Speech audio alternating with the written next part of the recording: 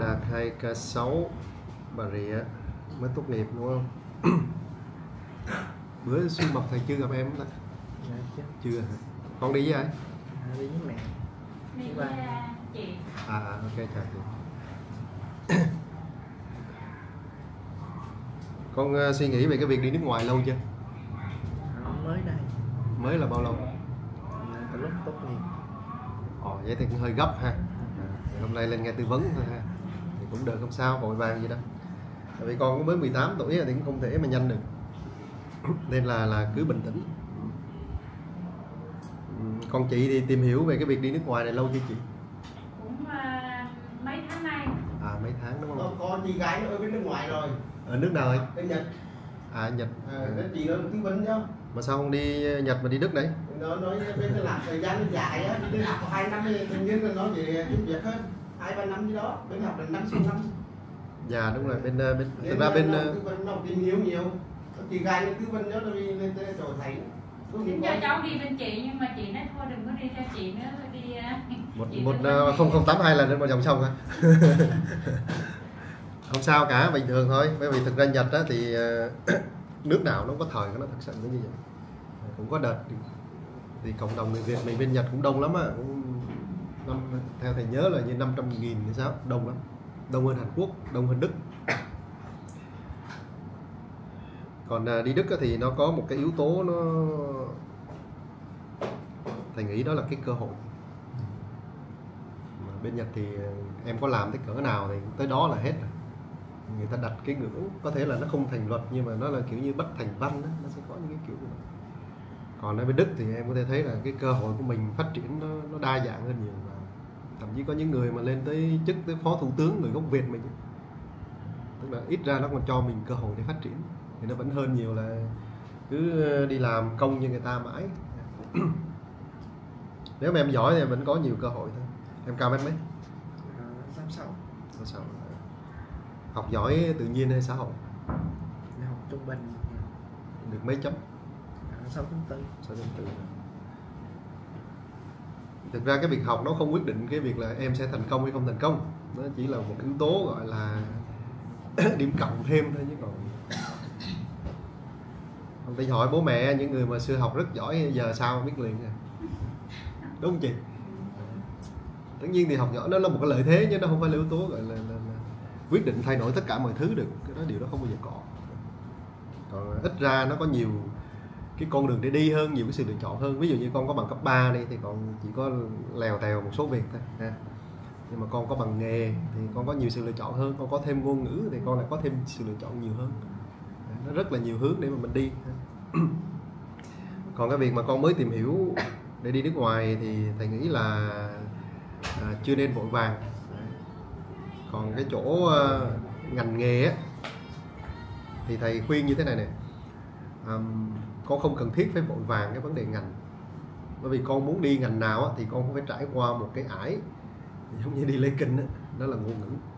Không không thoát được. Giờ như con đi Nhật thì con cũng phải học tiếng Nhật còn đi các nước nói tiếng Anh thì phải học tiếng Anh IELTS còn đi đi Đức thì phải học tiếng Đức. Thì trong quá trình đó thì mình có thể theo dõi thêm và lúc đó mình quyết định nghề nghiệp cũng được. Nó không phải vội vàng chị không cần.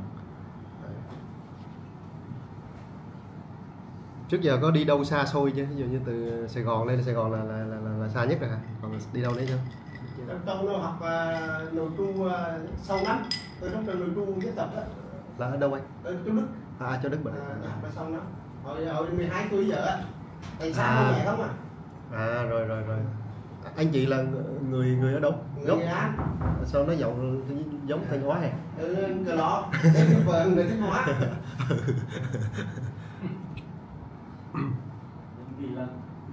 Nghi lộc dạ. À, bữa em về nghệ an thì em gốc nghệ an mà. À, về về về vinh.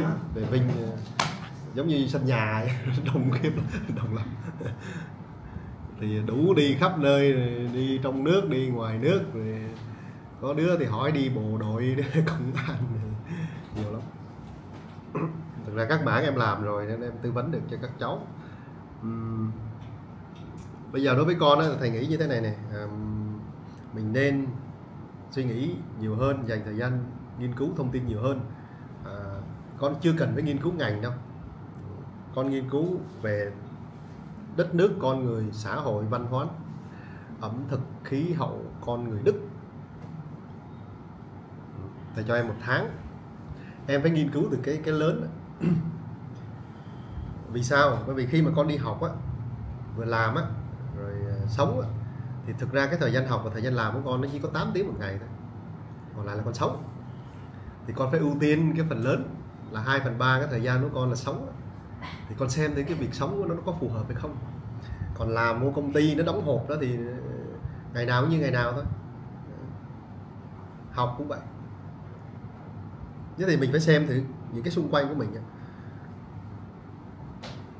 đất nước con người xã hội văn hóa ẩm thực bla bla bla. em đặt mình vào đó em thấy nó có phù hợp hay không này à, rồi sau đó mình mới lựa chọn cái con đường là mình sẽ đi vừa học vừa làm. Cái đó là mình nghiên cứu sau. Cái đó chỉ là một cái cách để qua nó thôi. Chứ còn về lâu về dài cái cốt lõi ở đây là con phải sống được ở đó. Nên là thầy nghĩ là bản thân bố mẹ cũng cho cháu thêm thời gian để nó tìm hiểu thêm ấy. Bởi vì nó phải chủ động tìm hiểu thông tin đó. chứ bây giờ chị thứ nhất là chị anh chị cũng bận cũng phải đi làm chứ đúng không? Đấy rồi ổng bây giờ đang rảnh nè lo mà tìm hiểu đi. Nghiên cứu đi và coi coi trên youtube tiktok á, là nó bị ngắn ngắn không có đủ độ sâu á. Em coi những cái clip của mấy cái người bên đức á, mà người ta nói mà nhiều khi hai ba chục phút rồi khi cả tiếng á, những cái đó nó mới đủ cái độ sâu chứ tiktok này, lướt lướt lướt lướt mấy chục giây làm gì? Thì em thử dành khoảng một tháng nghiên cứu coi. Đừng có quan tâm tới du học nghề đức đích cái đó nó không không không quan trọng. Cái đó thì cần để thầy thầy cung cấp thông tin cho. Cái quan trọng nhất là em phải tự tìm hiểu về cái đất nước con người xã hội của họ. Và em thấy nó phù hợp. Và em mong muốn gắn bó lâu dài với nó. Và em đặt mục tiêu là đấy, trong vòng 5 năm tới mình được cái gì 10 năm tới mình được cái gì? Ví dụ như vậy thì lúc đó mới nên ờ, nếu mà lúc đó thấy toàn tâm toàn ý rồi xác định muốn đi rồi thì là ta lại gặp nhau. Lúc đó muốn coi thành số học thành số hết thì thầy coi cho.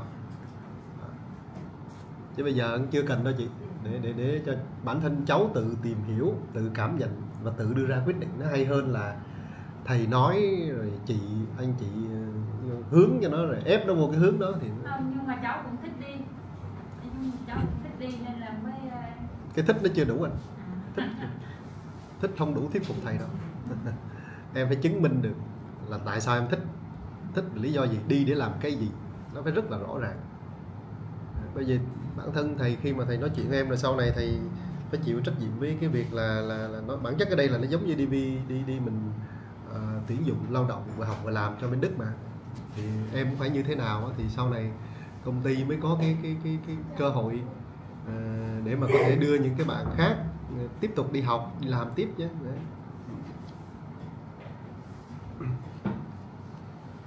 nên là là là cứ bình tĩnh ha. Một tháng có đủ không? Hay là thêm 3 tháng nữa? Tháng là đủ rồi không? À, thì lúc đó rồi rồi lúc đó quay lại chị không chị không cần phải lên đâu nó tự hàng lịch nó tự lên. Không cần học à.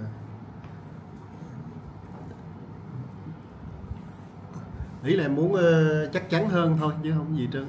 Chứ bởi vì ờ, nó là tương lai của của của, của cháu và cái việc đây là mình đi là đi ờ, con người.